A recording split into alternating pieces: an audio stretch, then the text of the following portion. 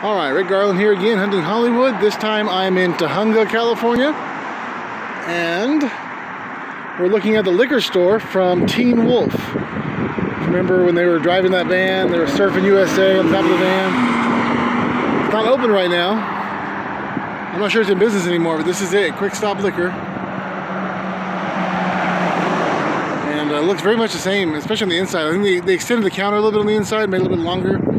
Uh, I haven't been in there for a few years, but anyways, this was the liquor store from Teen Wolf. It's on, I don't have the address in front of me. It's on uh, Foothill Boulevard though. Um,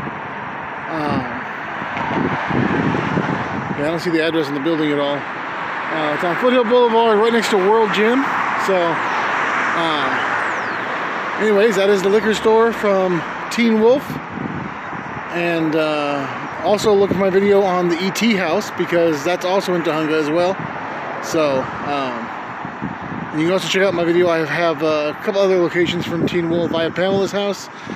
And on the Back to the Future video, I have um, Michael J. Fox's house, which is actually, it's also used as Lorraine's house in Back to the Future. So you can check that out as well. Thank you.